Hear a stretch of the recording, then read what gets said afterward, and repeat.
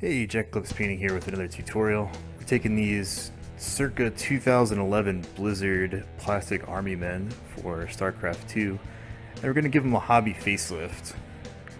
Make them look like a uh, whole new model. Lots of extra detail.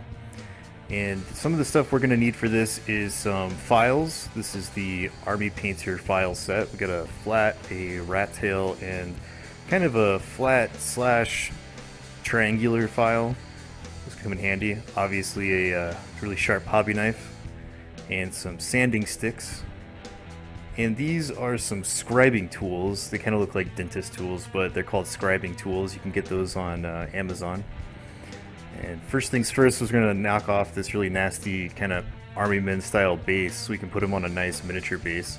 Uh, if you want to baby it, you can use your hobby knife, but uh, I just slap it right off of there and then clean that up with the hobby knife and our uh, flat file to kind of hog off some of that material, get it nice and flat.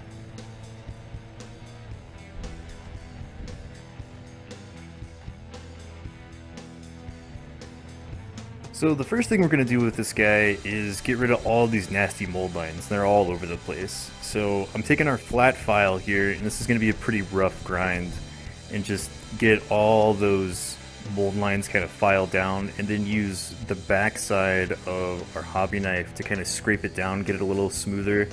And then to finish it off, we're going to use our uh, little sanding stick here that's a pretty fine grit and just smooth all that out really nicely. And then go around the whole model and do that.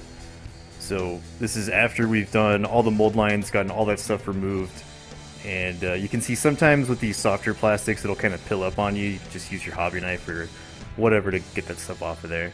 And then next is going to come in the scribing tools. And uh, we're going to focus on this one shoulder pad here and kind of go in with our scribing tool and very lightly kind of scratch in that detail where that little panel line is on his shoulder pad and just kind of deepen it up a little bit and get it a little bit more crisp. This is going to help make that detail pop a little bit more and be more defined when we put paint on it. So we're just going to go around with our scribing tools, being very light. You don't want to dig in too much because if that uh, that scribing tool kind of digs in really deep and then hops out of that panel line, it'll leave a big scratch and a flat surface, and you don't want that. And then you can just kind of finish it off with your sanding stick there. So here it is. Uh, we've got all of our details kind of scribed in a little bit deeper. You can see I've gone around some of the larger details like the gun and the hands and the, uh, the head area and scribed those in. And uh, next we're going to use our little pin vise to drill out the barrel and some of our other little uh, circular style details like there's some ports and some exhaust things around the uh, the armor that we're gonna kind of use our, our hobby drill to deepen and countersink so that those those holes are a little bit more crisp and clean.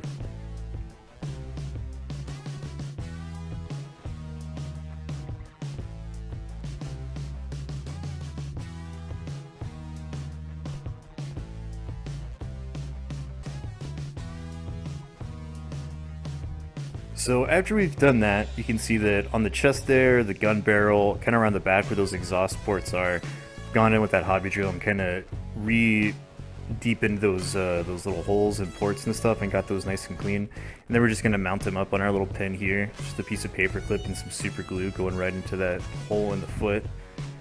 Gonna glue that in there and get them ready for paint.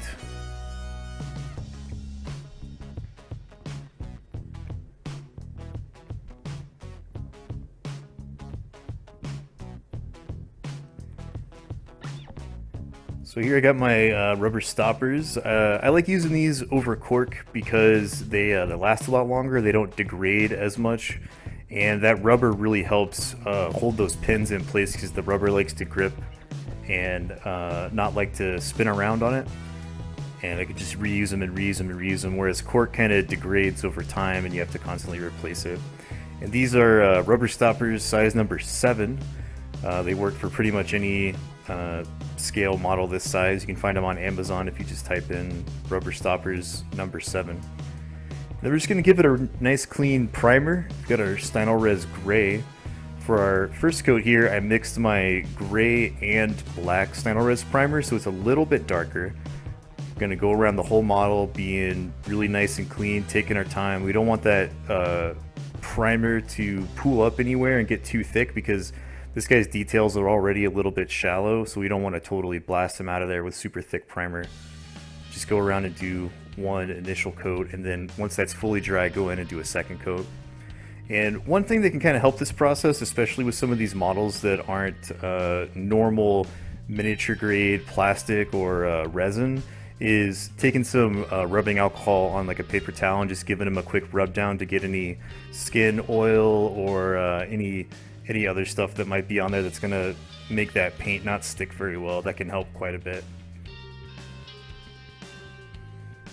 And then once we get our first primer coat on there, I'm just going to take our regular gray Stynylrez primer and hit it with a light second coat so that our shadows and stuff are a little bit darker. It's going to help us know where we need to start painting up all our highlights and everything on the model.